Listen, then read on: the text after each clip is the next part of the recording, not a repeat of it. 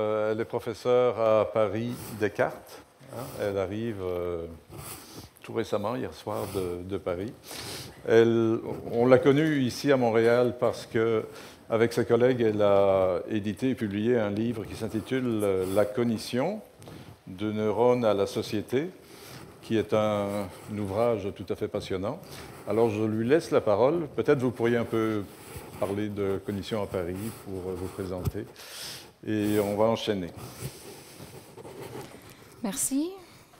Euh, le micro fonctionne, c'est bon? Euh, merci. Alors tout d'abord, je vais remercier les organisateurs de m'avoir invité.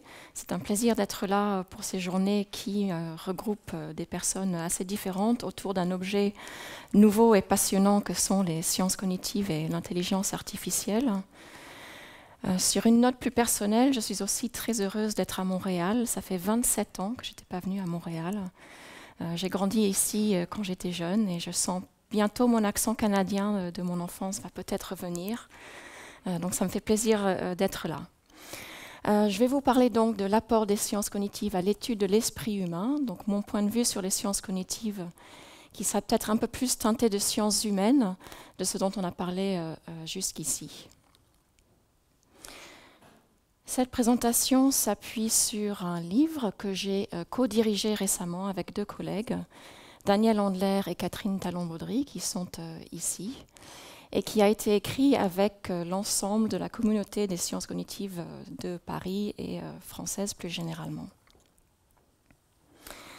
Le sous-titre de cet ouvrage, c'est Du neurone à la société. Et en fait, c'est le point de vue qu'on essaye de défendre dans ce livre, que la cognition peut être comprise à différentes échelles, de l'échelle la plus petite, moléculaire, cellulaire, neuronale, jusqu'à l'échelle la plus grande euh, de la société euh, humaine. Bien sûr, euh, le projet des sciences cognitives, qui est de développer une science naturelle de l'esprit, rencontre parfois des réticences. et cette proposition que l'esprit, en fait, est le produit de mécanismes physico-chimiques dans le cerveau, et ce n'est pas un réductionnisme, comme le croient euh, certains, ni du scientisme. Ceux qui prétendent que c'est un réductionnisme n'ont visiblement jamais contemplé l'extrême complexité d'un seul neurone, évidemment sans compter le fait que tous les neurones sont en réseau. Et puis, euh, ce que j'aime bien aussi remarquer, c'est à côté de cette extrême complexité, il y a une extrême beauté, qui je pense est bien illustrée ici par euh, l'illustration de Ramon y Cajal, qui était un neurophysiologiste espagnol du siècle dernier, qui a euh, élaboré la théorie du neurone, à l'époque c'était une théorie, et qui a euh, fait des observations anatomiques qui ont donné lieu à, ces euh, très beaux dessins. Et donc la couverture de notre livre est inspirée de ce dessin de neurone, à partir duquel on pense va émerger toute la société humaine, enfin tout ce qui repose sur les capacités humaines. Alors qu'est-ce que c'est les sciences cognitives? Eh bien tout d'abord, les sciences cognitives ont un objet, c'est la cognition. Ça vient des mots latins que tout le monde connaît, et en gros, ça regroupe tout ce qui fait trait à l'activité de connaître. Tout ce qui se passe en nous quand on connaît quelque chose, quand on sait quelque chose, c'est la cognition. La cognition est souvent associée, comme on l'a vu tout à l'heure, à un ensemble de facultés, l'action, l'attention, le raisonnement, le langage, la mémoire, etc. Bref, tout ce qu'on peut appeler la pensée. Et pour ceux qui connaissent un peu, vous voyez que je n'ai pas mis euh, ces mots au hasard. Il y a des zones du cerveau qui sont préférentiellement euh, associées à différentes fonctions. Mais aujourd'hui, à côté de ces euh, facultés de plus haut niveau qui ont trait à la pensée, on rajoute des facultés qui peuvent sembler de premier abord un peu, un peu moins réfléchies, comme la perception et l'émotion. Mais toutes ces facultés reposent sur le cerveau. Et bien sûr, les chercheurs excluent par hypothèse l'existence de facultés cognitives qui reposeraient sur autre chose que les cerveaux. Ça ne veut pas dire que les autres organes ne peuvent pas jouer un rôle, mais évidemment, le cerveau est euh, l'organe principal causal. La discipline des sciences cognitives est souvent euh, présentée comme un regroupement de plusieurs disciplines qui sont facilement reconnaissables parce qu'elles correspondent aux divisions académiques classiques des départements dans les universités que nous connaissons. Et alors, comment est-ce qu'on peut situer les sciences cognitives par rapport à ces disciplines? Autrement dit, à quel moment est-ce qu'une psychologue arrête-t-elle de faire de la psychologie pour faire des sciences cognitives? Est-ce que les sciences cognitives sont autre chose que le regroupement de ces disciplines qui euh, vont garder chacune ses propres méthodes, ses propres pratiques épistémologiques, sa propre culture? Eh ben, Si c'est le cas, aucun chercheur ne fait des sciences cognitives. On fait chacun nos recherches dans nos disciplines et on est dans un regroupement. Le point de vue que nous défendons dans ce livre, c'est que ce n'est pas le cas. Nous pensons que euh, les sciences cognitives sont plus euh, qu'un regroupement de disciplines qui posent des questions similaires. On pense que les sciences cognitives, ce, regroupement, cette rencontre, va donner lieu à des nouvelles questions et bien sûr à des nouvelles réponses qui n'auraient pas pu émerger individuellement dans chacune des sous-disciplines. Les sciences cognitives sont donc réellement pratiquées, sont faites par des chercheurs qui, bien sûr, sont issus de monodisciplines, parce qu'on doit tous aller à l'université. Mais euh, ces chercheurs acceptent de se trouver toujours sous le regard des autres disciplines, et donc sous euh, le regard de ces autres disciplines en perpétuelle remise en question et apprentissage. La division classique euh, du travail dans ces différentes disciplines tend à masquer les nombreuses connexions qui traversent les domaines de recherche des sciences cognitives. Et on va euh, identifier plusieurs continua. Tout d'abord, bien sûr, les sciences cognitives s'intéressent à l'esprit humain, mais s'enrichissent d'études comparatives, la cognition et la psychologie comparée. Et aussi, bien sûr, il y a des modèles animaux, euh, essentiellement singes, souris, qui sont des apports importants, et c'est le continuum homme-animal. L'étude de euh, l'intelligence, de la cognition, pardon, est intimement liée à l'humain, encore une fois, mais comme on l'a vu euh, depuis tout à l'heure, l'apport de l'intelligence artificielle et de la robotique est crucial. C'est le continuum qu'on peut appeler in vivo, in silico. Et puis, euh, finalement, les sciences cognitives ont pour objectif de décrire l'esprit dans son fonctionnement général mais bien évidemment, des informations qui sont issues de l'étude de personnes qui semblent ne pas avoir le même fonctionnement est très utile, et c'est le continuum normal pathologique. Deux caractéristiques essentielles des sciences cognitives sont tout d'abord leur interdisciplinarité et puis leur jeunesse. Qu'est-ce que ça veut dire interdisciplinarité? Si c'est autre chose que le regroupement de plusieurs disciplines, eh bien, ça veut dire que certaines notions, certains résultats ne peuvent prendre du sens que par leur rapport étroit avec les autres domaines.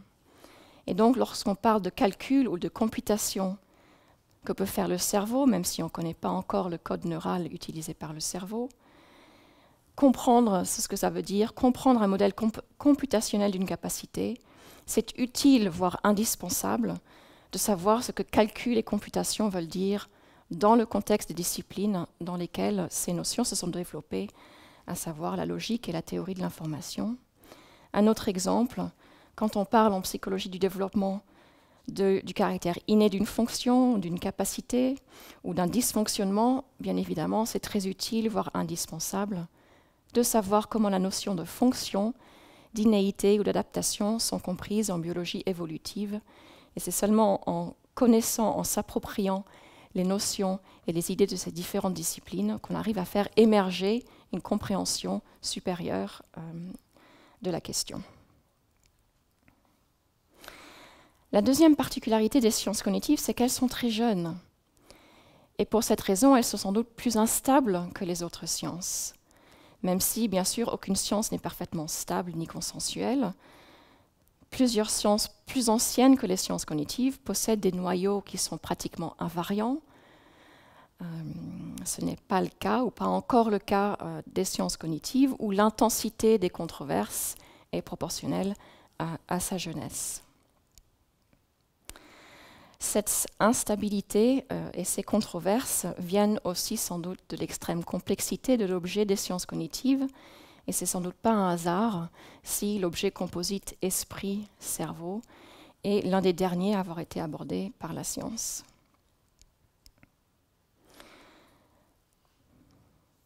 Donc le projet des sciences cognitives, c'est de proposer une science naturelle, coordonnée de l'esprit et du cerveau, science naturelle de l'esprit par opposition à une science abstraite de ses produits. Alors les sciences cognitives sont le fruit d'une longue histoire, comme vous le savez sans doute.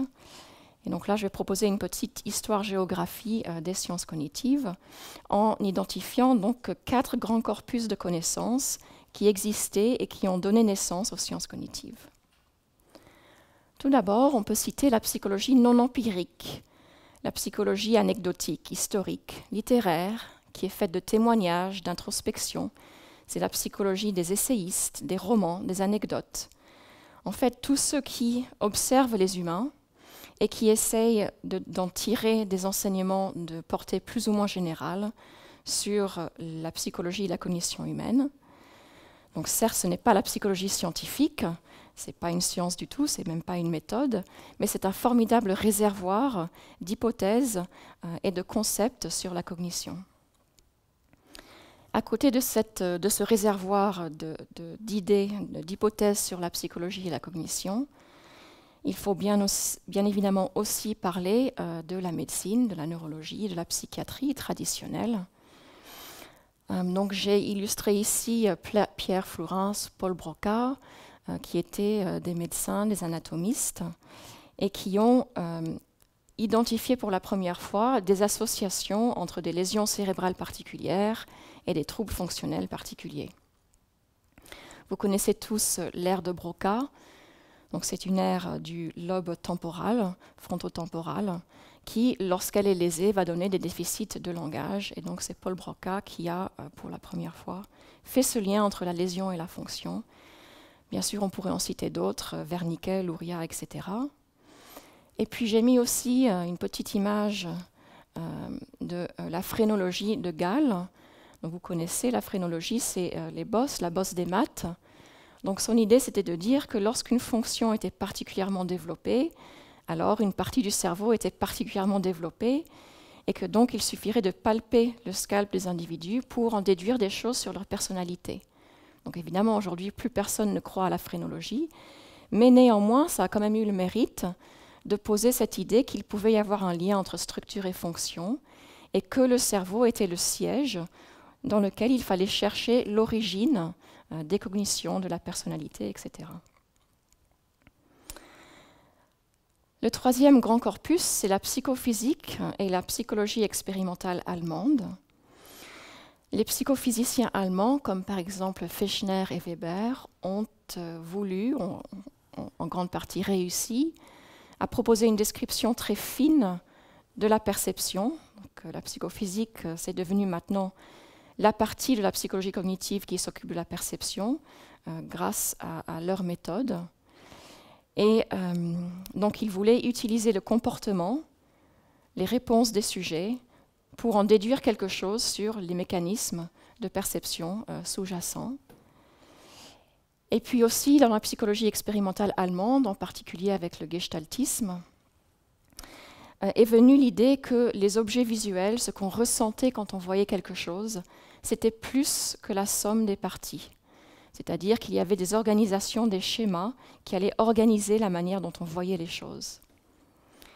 Donc ce corpus, bien sûr, a été très important. Et finalement, la linguistique, euh, avec la grammaire qui est étudiée dès le Moyen Âge et qui prend son essor au XVIIIe siècle. Dans cette grammaire du XVIIIe siècle, le langage est considéré comme un système totalement abstrait qui peut être compris indépendamment des individus qui produisent le langage. Euh, le langage est un système comme les nombres ou les maths qui peut, voire qui, doit être étudié en lui-même, indépendamment de l'humain. Et puis beaucoup plus récemment, euh, l'apport de Noam Chomsky et euh, sa grammaire générative, qui a au contraire commencé à réfléchir la question de l'implication de l'individu dans la production de ce système peut-être abstrait, et en tout cas de l'idée que pour mieux comprendre ce système, il fallait prendre en compte l'individu. Donc voilà les quatre grands corpus existants qui ont euh, directement nourri les sciences cognitives. Mais bien sûr, il y, a aussi, il y avait aussi, il y a encore, des obstacles euh, qui freinent le développement du projet des sciences cognitives de proposer une science naturelle de l'esprit et du cerveau. Et euh, ce sont des obstacles de taille. Le premier obstacle qu'on peut citer, c'est le dualisme à la Descartes. C'est l'idée que l'esprit appartient à une sphère de réalité qui est différente de la sphère de la matière. La glande pinéale, c'est le lieu magique où ces choses se rencontrent.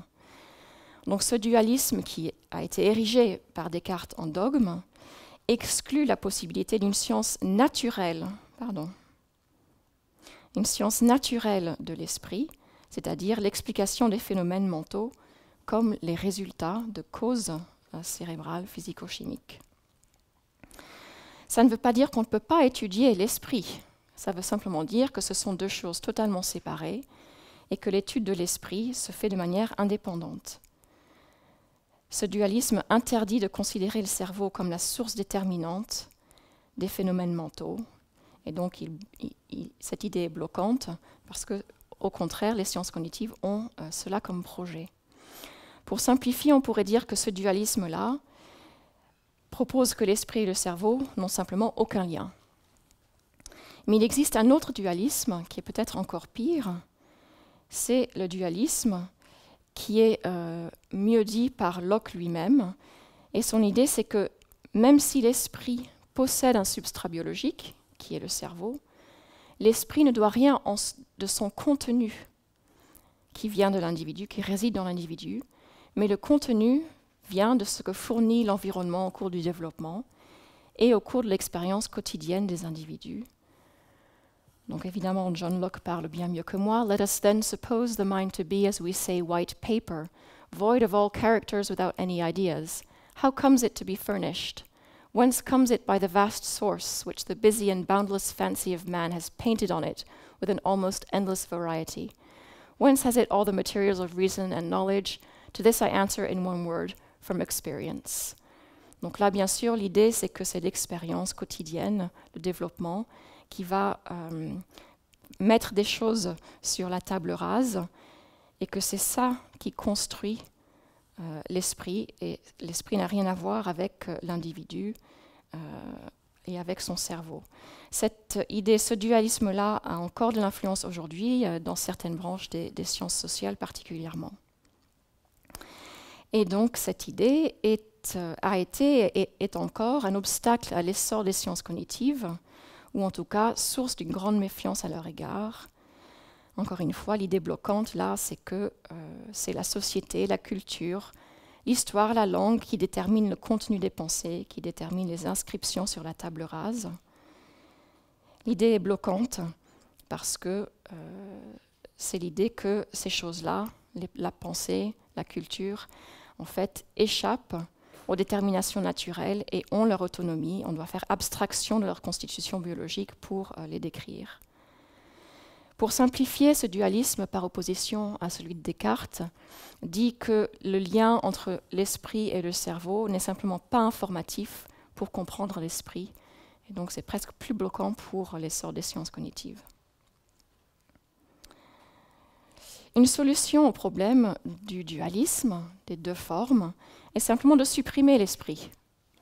Et c'est euh, ce qu'ont proposé les behavioristes. Donc vous avez ici euh, la photo d'un des fondateurs, euh, John Watson. Les behavioristes voulaient donc supprimer l'esprit et le remplacer par des phénomènes observables, le comportement. Après tout, si on fait abstraction de ces quelques bribes insaisissables, nos pensées se traduisent par des comportements observables et déterminés. Et donc leur idée était de dire, si on arrive à décrire le lien entre le monde extérieur et les réactions, les comportements, alors on n'a plus besoin de parler euh, de l'esprit. Donc à côté de ces obstacles au projet des sciences cognitives, bien évidemment, il y a des choses, à partir des années 1950 à peu près, qui ont permis au projet des sciences cognitives de prendre leur essor. Et la première chose que je citerai, en fait, c'est euh, ce qui a permis de laisser de côté euh, le dualisme, de manière un peu contre-intuitive, je remets le behaviorisme, puisque finalement, lorsque on se débarrasse de leur parti pris théorique de récuser l'idée de l'esprit, ils nous ont finalement euh, laissé un formidable savoir-faire et des méthodes d'observation du comportement. Donc si on pense que le comportement est en effet l'observable fondamental pour les sciences cognitives, on peut euh, renoncer à l'introspection comme source fiable de connaissances et se tourner vers le comportement. Et les behavioristes euh, ont en fait euh, parfait les techniques et les méthodes de quantification du comportement. Et donc c'est un très grand corpus de connaissances et surtout de savoir-faire qui a permis aux sciences cognitives de prendre leur essor. À côté de ça, il faut euh, aussi euh, noter un certain nombre de, chercheurs, de penseurs, qui ont euh, donné le deuxième élément d'essor, qui est un accès empirique aux phénomènes mentaux. Donc ici, par empirique, bien sûr, je veux dire accessible à l'observation, hein, pas anecdotique. Donc je remets les psychophysiciens, Fescher et Weber, qui travaillent sur la perception, euh, Binet, Piaget, Vygotsky sur l'intelligence et son développement, Donders qui met au point le premier appareil de mesure euh, des temps de réaction. Toutes ces euh, personnes jettent les fondations d'un accès empirique aux phénomènes mentaux en utilisant le comportement, la donnée observable, comme mesure indirecte. Et ça permet de remplacer l'introspection comme voie d'accès à la connaissance sur l'esprit. Et donc ça, évidemment, c'est une étape très importante. J'aurais pu mettre Freud aussi, bien sûr, euh, mais ça c'est un tout petit peu une autre histoire. Et puis troisième élément euh, d'essor, c'est l'accès empirique aux phénomènes cérébraux. Donc je remets bien sûr Ramon y qui a euh, observé avec d'autres hein, à l'époque, avec d'autres neurophysiologistes, les neurones et qui a compris les unités fondamentales de computation qui étaient les neurones et puis bien sûr, plus récemment, les techniques d'imagerie cérébrale, comme euh, l'EEG de Bergen dans les années 1920, ou ce qui est illustré ici, plus récemment bien sûr, euh, l'IRMF, qui permet d'avoir accès à l'activité du cerveau en temps réel.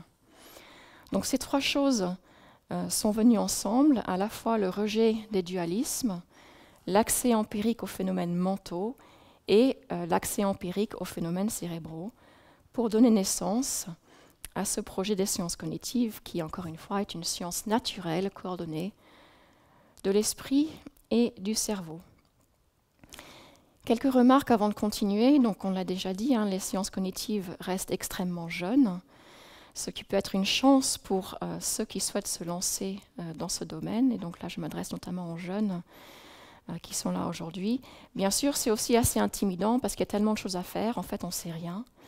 Donc c'est un domaine tout à fait particulier. Et vous l'avez vu dans une des diapositives précédentes, eh bien pour l'instant, le Panthéon est surtout peuplé, comme dans beaucoup de sciences, euh, d'hommes blancs. Donc il y a beaucoup de place pour les autres, et notamment les femmes. Alors quelle est la place de l'intelligence artificielle dont on a euh, parlé euh, jusqu'ici? Évidemment, l'intelligence artificielle a une place toute particulière au sein des sciences cognitives. L'intelligence artificielle des années 50 avait comme objectif de créer une intelligence générale, comme il existe chez l'homme. Et bon, je pense qu'on peut être d'accord pour dire que euh, cet objectif-là a échoué. Mais néanmoins, euh, à ce titre, l'intelligence artificielle était en fait la première forme des sciences cognitives, car elle a formulé ce même projet des sciences cognitives qui ont émergé une vingtaine d'années plus tard. Euh, comme l'a dit un des contributeurs principaux de l'intelligence artificielle, euh, Robert Schank, l'étude de l'intelligence artificielle n'est autre chose que l'étude de l'intelligence humaine. Aujourd'hui, l'intelligence artificielle vit avec des ambitions plus modestes.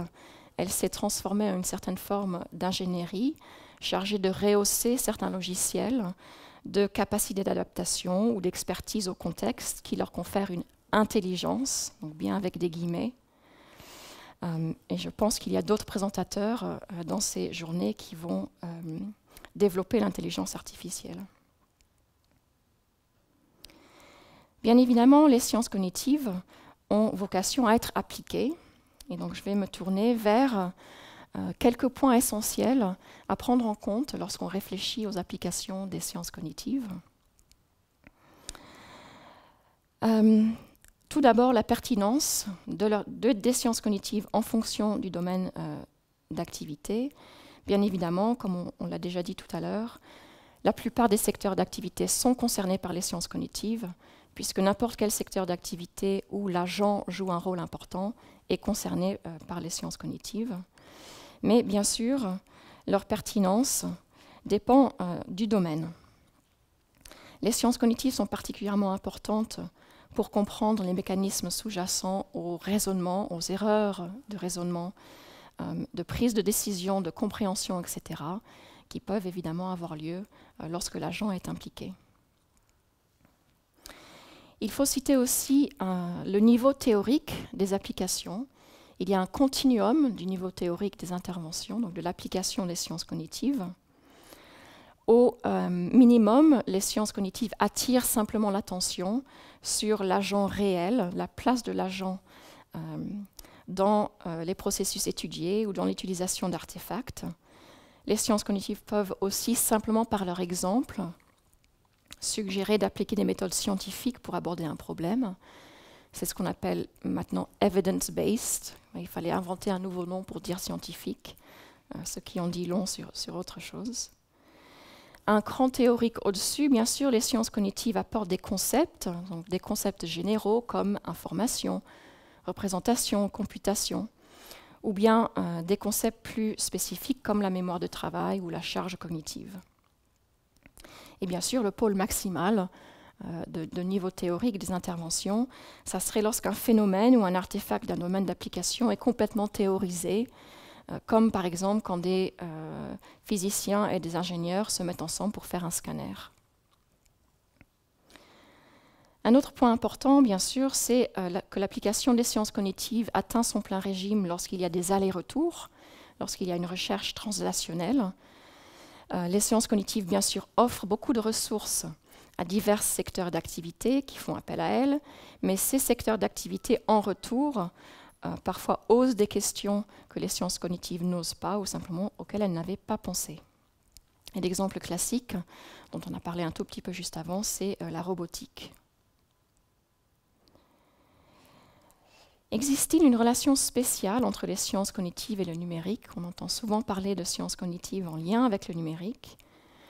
Bien oui, si les sciences cognitives, c'est l'étude de systèmes biologiques, le traitement de l'information, et que les technologies numériques, c'est la conception de systèmes artificiels, le traitement de l'information, on peut imaginer qu'on a euh, deux revers de la même médaille. C'est le continuum in vivo, in silico que j'ai mentionné juste avant.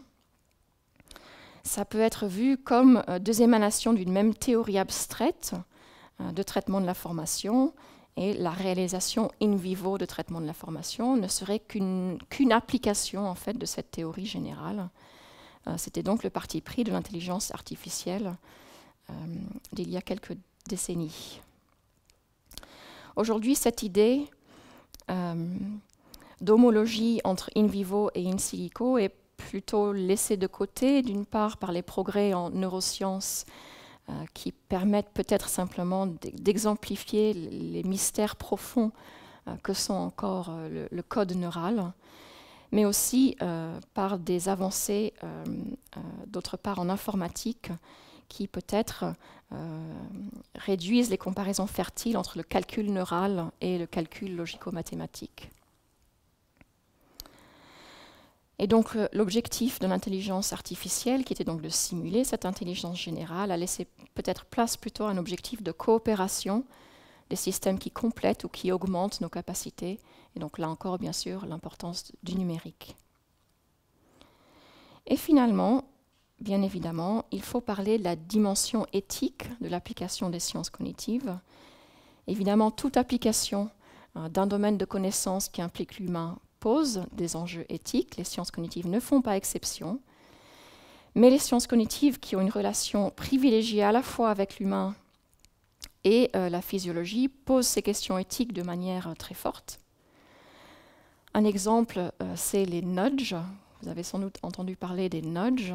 Ce sont en fait des connaissances issues de la bonne vieille psychologie sociale qui existe depuis longtemps, mais qui sont appliquées aujourd'hui d'une manière différente et qui intéressent énormément les politiques publiques pour essayer de mettre en place des schémas euh, des, politiques pour encourager les citoyens à agir d'une certaine manière, par exemple payer ses impôts à l'heure, euh, etc.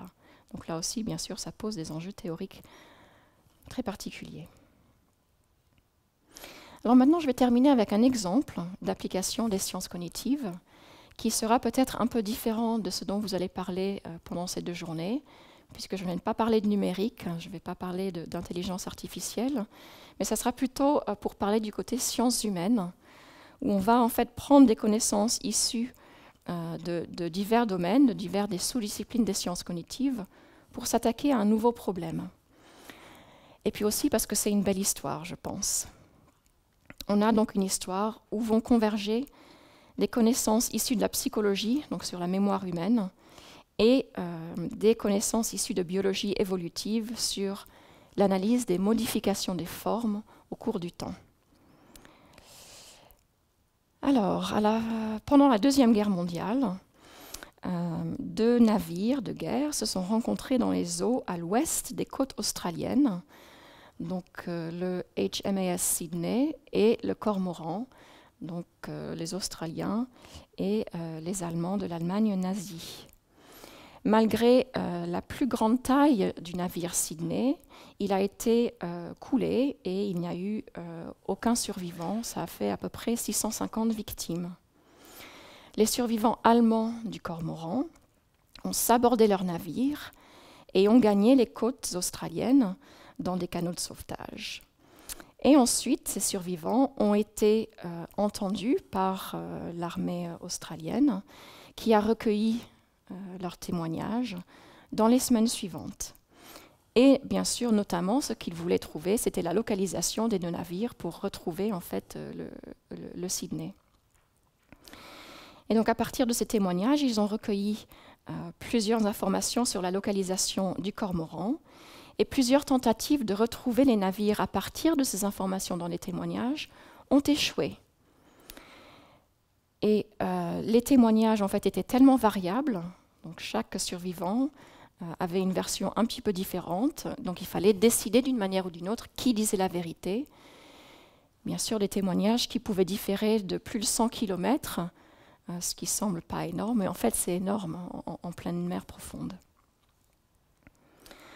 Un rôle important est donné au témoignage du capitaine, euh, dont la photo est ici, mais les coordonnées qu'il donne ne sont pas les bonnes. On ne retrouve pas les deux navires aux coordonnées qu'il indique. D'autres informations euh, ont ensuite donné lieu à des recherches. Donc, euh, les, recherches suivantes ont, ont, décidé de laisser tomber les témoignages en disant ils ne sont pas fiables, ils sont trop variables.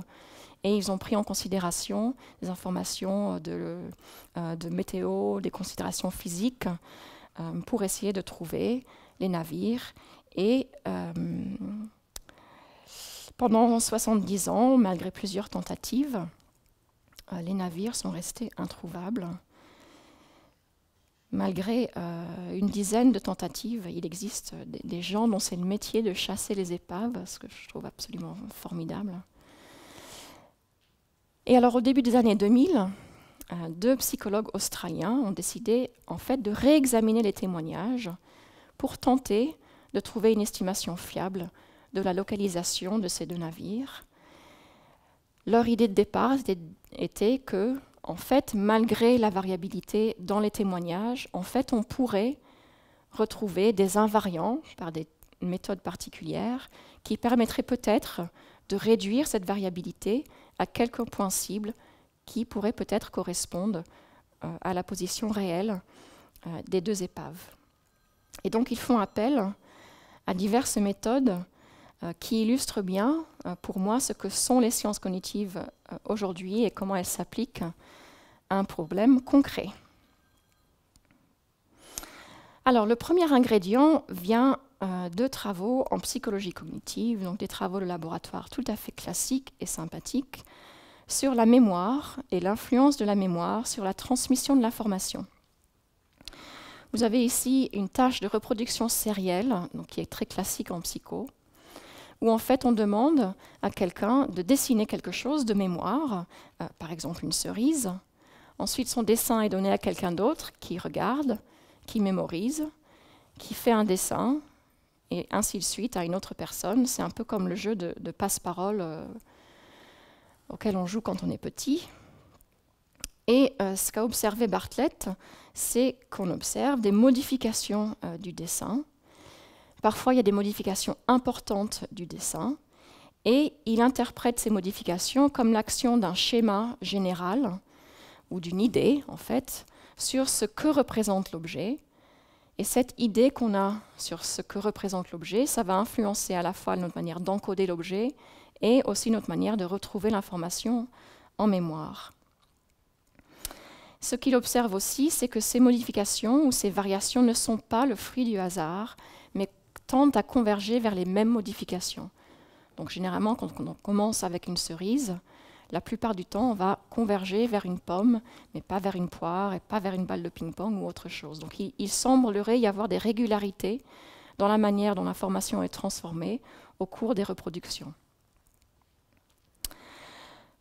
Donc selon Bartlett, le produit du rappel est une combinaison entre les données et une idée de ce que représente euh, les données.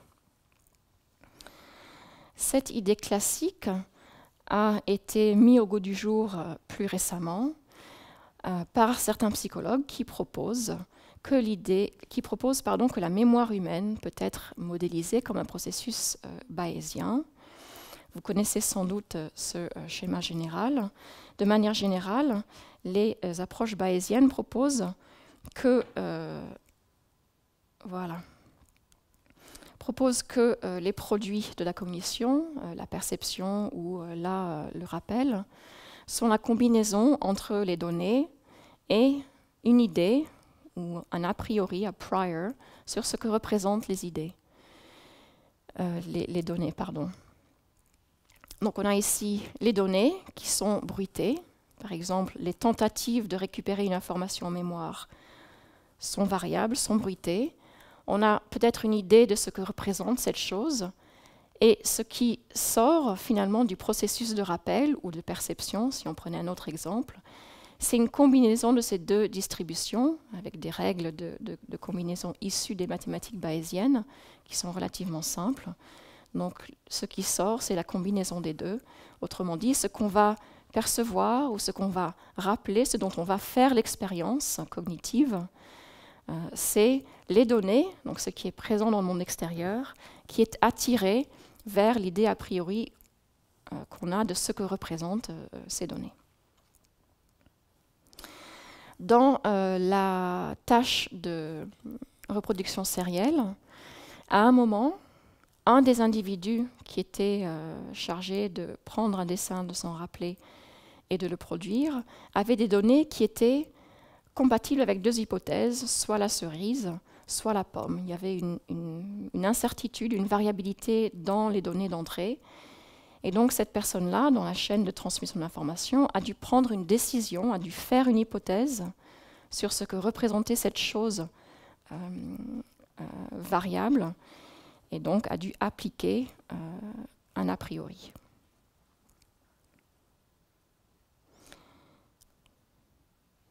Un autre exemple euh, vient de tâches de rappel où très simplement on demande à des sujets euh, de regarder des images de fruits. Certains ont des tailles plus grandes que leur taille réelle, euh, d'autres ont des tailles plus petites que leur taille réelle. Et plus tard, on demande au sujet de rappeler la taille de chaque objet, de chaque fruit qui est vu. Et on observe que la taille rappelée est biaisée vers la position réelle. Donc ici, les données, c'est l'information que le sujet a en mémoire. Il a vu ces choses, il a quelque chose en mémoire qui correspond à ce qu'on appelle les données. Cette information est bruitée, elle n'est pas parfaite. En plus, avec le temps, elle tend à diminuer en précision. Et puis, eh bien, pour interpréter, euh, les sujets vont utiliser leur connaissance sur la taille réelle euh, des objets. Donc ce qui est important, c'est que ces travaux montrent que la variabilité du rappel n'est pas aléatoire, qu'il y a euh, prise en compte des croyances sur l'identité de ce qui est rappelé, et qu'en fait, si on a tous les mêmes croyances, eh bien alors, nos informations, nos rappels vont avoir tendance à converger euh, vers les mêmes interprétations, même si elles sont fausses, entre guillemets, étant donné les données.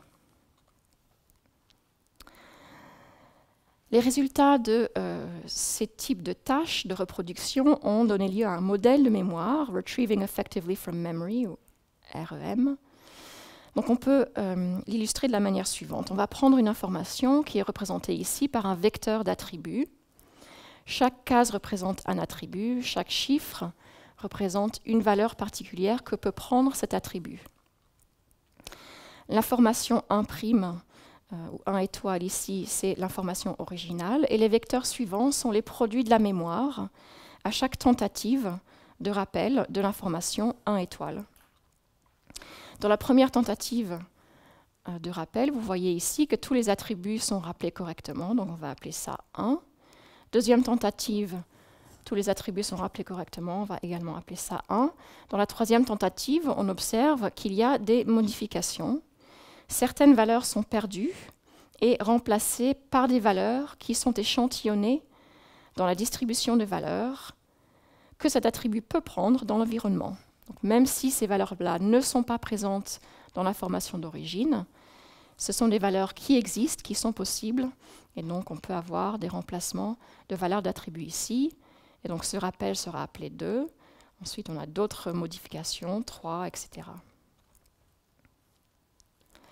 Chaque tentative de rappel est donc étiquetée par un numéro et une chaîne peut être représentée par la séquence ici et qui est continuée euh, comme illustré en dessous. Si on prend euh, maintenant une autre étude célèbre, euh, toujours de Bartlett, il a demandé à des individus de lire une histoire traditionnelle amérindienne, donc War of the Ghosts. Peut-être qu'ici au Canada, certains connaissent cette histoire. En France, personne ne connaît jamais, bien sûr. Et euh, il demande à ces sujets donc d'écouter et puis ensuite de lui répéter euh, l'histoire à différents intervalles. Et outre la, diminution de la précision des rappels, bien évidemment, avec le temps, il observe des modifications qui vont en fait converger tous vers des modifications communes. Alors ce que vous avez ici illustré, c'est euh, donc le code de rappel. Donc par exemple ici c'est l'individu H, première tentative de rappel, l'individu H, deuxième tentative de rappel, etc. pour plusieurs individus. On a euh, ce que disent les individus, donc la manière dont ils rapportent euh, cette histoire. Et puis là, dans les quatre dernières colonnes, eh bien, vous avez les attributs. Chaque chiffre ici correspond à une valeur de l'attribut. Et on peut voir au cours des différents rappels et au cours euh, des, changements d'individus comment euh, ces attributs, comment ces valeurs vont euh, changer. Et donc là aussi, bien sûr, on peut représenter la transformation de l'information dans les rappels par des vecteurs d'attributs. Et ce que Bartlett avait observé, c'est que malgré la grande variabilité des rappels, certains éléments clés sont préservés au cours des rappels. Et en faisant ce type d'analyse, on peut euh, retrouver euh, l'ancêtre commun, entre guillemets, suite à une très grande variabilité. À partir de ces vecteurs d'attributs, on va donc identifier les variations et construire, retrouver les ancêtres communs et construire des arbres cladistiques ou phylogénétiques. Ce sont des méthodes issues de la biologie évolutive et de l'écologie, où on regarde, on a des, vecteurs d'attributs qui sont morphologiques ou anatomiques. Les différentes espèces ont différentes valeurs euh, dans, ces, euh, dans ces attributs. Et à partir de l'observation de la modification de ces vecteurs d'attributs, eh bien, c'est comme ça qu'on construit euh, ce type d'arbre qu'on a tous vu euh, depuis notre enfance pour décrire euh, les espèces. Donc, bien sûr, l'idée ici qui est importante à retenir, c'est qu'on peut prendre ce type d'analyse, qui est tout à fait classique en biologie évolutive, et l'appliquer à un corpus textuel. Revenons donc à nos deux navires de guerre euh, le Sydney et le Cormoran. Les deux euh, psychologues australiens, donc et Karsner, ont euh, réinterprété, ont, réanalysé les témoignages Et donc vous avez ici le même type de schéma que tout à l'heure pour War of the Ghosts, où vous avez donc ce que disent les survivants allemands sur la localisation de leur navire, le Cormoran. Vous avez ici les euh, différents attributs et les valeurs que peuvent prendre euh, ces, différents attributs. Et vous voyez, c'est un simple codage euh, de, de, ces phrases pour les coder donc avec ces, attributs-là. Et à partir de cette analyse-là, ils appliquent une analyse cladistique tout à fait classique de ces témoignages verbaux et peuvent donc retrouver Parmi la très grande variabilité euh, des euh, verbalisations finales, vous retrouvez des ancêtres communs, c'est-à-dire des localisations qui semblent influencer euh, les autres témoignages. Et bien évidemment, on trouve dans ces ancêtres communs le témoignage du capitaine et aussi le témoignage du euh, navigateur, c'est-à-dire celui qui était à la radio euh, au moment du naufrage. Mais aussi d'autres sources ici qui semblent avoir organisé euh, les témoignages de, tous les survivants, de tous les descendants, si on veut adopter la terminologie de la biologie évolutive. Ce qui est important ici, et ce qui, c'est le, le corpus venant de la psychologie expérimentale, c'est ça qui a inspiré Dunn et Kirchner, c'est cette réalisation que les témoignages ne sont pas indépendants les uns des autres et que leurs variations en fait euh, suivent des schémas qu'on peut tout à fait retrouver et que donc en examinant la variation, on peut essayer de remonter à la source originelle.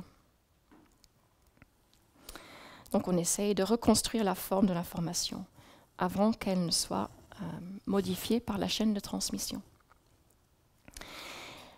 Euh, dernier ingrédient euh, dans leur étude, c'était donc maintenant de prendre chaque point sur la carte. Donc là, c'est l'océan au large de, l'Australie, donc latitude et longitude, et avec chacun des points, calculer la distance avec ces témoignages sources que l'arbre phylogénétique leur avait permis d'identifier. Et donc, ils ont euh, des euh, zones où euh, l'erreur, le mean squared error, entre la position sur la carte et les témoignages peut être représentée comme ça. Et donc, la position la plus probable est ici, par, désignée par la croix. Et puis, vous avez le cormoran et le Sydney, là où ils ont réellement été retrouvés euh, avec euh, ce type d'analyse, là où d'autres analyses, encore une fois, sur la base de la météo ou de considérations physiques, avaient euh, totalement échoué. Donc bien évidemment, ces bateaux qui ont été retrouvés donc en 2008, ça a eu un retentissement énorme en Australie, puisque bien sûr, il y a, encore des descendants des victimes du, Sydney. Alors j'aime bien cet exemple pour euh, plusieurs raisons. Je trouve que c'est une jolie histoire, mais aussi ça montre vraiment bien ce que sont les sciences cognitives aujourd'hui, c'est-à-dire euh, en se reposant sur les connaissances sur la mémoire humaine, sur la manière dont l'information est modifiée au cours du temps, et sur les connaissances issues de la psychologie cognitive classique, euh, sur le fait que l'oubli et les modifications ne sont pas aléatoires, les rappels successifs ne sont pas aléatoires, mais qu'on peut en extraire euh, des invariants. Cela combiné avec la biologie évolutive, l'analyse des modifications euh, de forme et l'arbre phylogénétique, on peut mettre ensemble ces deux choses euh, ces deux corpus pour proposer une nouvelle solution à un problème qui, bien évidemment, implique l'humain, euh, implique euh, ces témoignages. donc je pense qu'il est utile de, rappeler ici, en, guise de conclusion, que l'application des sciences cognitives ne se borne pas au numérique. L'application des sciences cognitives ne se borne pas aux artefacts ou aux dispositifs d'ingénierie, mais qu'elle s'applique aussi à toutes sortes de questions de sciences humaines, toutes les questions qui impliquent l'humain, et pas seulement en tant qu'usager euh, ou en tant que, preneur de décision. Et donc pour revenir au titre de ma présentation, les sciences cognitives et l'étude de l'esprit humain, eh bien, bien évidemment, les sciences cognitives apportent à la connaissance de l'esprit humain en faisant converger diverses approches. Faire de la convergence et pas du regroupement, c'est pas facile, euh, mais quand on s'y attelle, on s'amuse beaucoup. Et euh, bien sûr, cette convergence peut apporter euh, des réponses nouvelles. On connaît mieux l'humain et l'esprit humain grâce à cette science naturelle de l'esprit, bien évidemment. Et il me semble aussi que par définition, cette convergence de disciplines a vocation à être appliquée. Par définition, les sciences cognitives doivent être appliquées, c'est un peu aussi leur raison d'être, et c'est quelque chose qui permet euh, leur développement et qui fera avancer la connaissance de l'esprit humain. Alors je termine en euh, citant à nouveau mes deux collègues, Daniel Andler et Catherine Talon-Baudry, qui ont contribué donc euh, à l'élaboration de cet ouvrage, qui est un ouvrage collectif, comme je l'ai dit, qui s'appuie euh, sur la communauté scientifique des sciences cognitives à Paris et en France. Pour les beaucoup plus jeunes, un petit coup de pub et je vous remercie pour votre attention.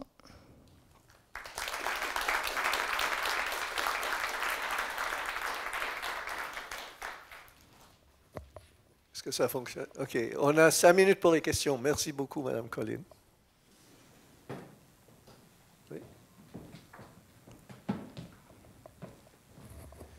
Bonjour, euh, merci beaucoup, c'était vraiment passionnant. J'avais une question sur la technique d'arbre cladistique. Est-ce que vous savez si elle a été utilisée dans d'autres contextes que celui-ci? Oui, euh, je ne connais pas assez bien pour donner des détails précis, mais elle a été utilisée. Euh, en fait, euh, le premier exemple qui me vient en tête, c'est dans des cas de, témoignages multiples. Dans un cas très connu, enfin en France, je pense que personne ici connaît, mais il y a un cas très connu de, meurtre en France entre deux familles où il y a eu plusieurs témoignages. Et c'était dans les années 80, ça n'a jamais été résolu. Et tout récemment, ce type d'analyse a été appliqué aux témoignages de différentes personnes pour essayer de retrouver euh, l'origine de certaines informations et ça a fait rouvrir l'enquête. Donc ça, c'est un exemple euh, concret auquel je peux penser, mais de manière générale, oui, tout à fait, ce sont des, manières d'analyser euh, des corpus de texte qui sont utilisées. D'accord. Merci. Question là? Il y a des questions là? Sinon, j'ai une question.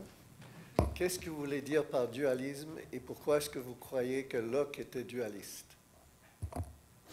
Alors, ce n'est pas moi qui crois que Locke était dualiste, je ne fais que répéter ce que disent d'éminents philosophes. Pourquoi est-ce qu'ils ont dit euh, ça? Bien sûr. Euh, euh, je ne vais pas pouvoir répondre à votre question autrement que de répéter ce que j'ai présenté. C'est l'idée de dire que l'esprit et le cerveau sont deux choses. Soit elles sont deux choses séparées, soit elles sont liées, mais qu'on s'en fiche. Et c'est ça qui me semble dangereux dans l'idée de Locke, c'est de dire peut-être que c'est lié, mais on s'en fiche. Ce lien du cerveau avec l'esprit n'est pas informatif pour l'esprit.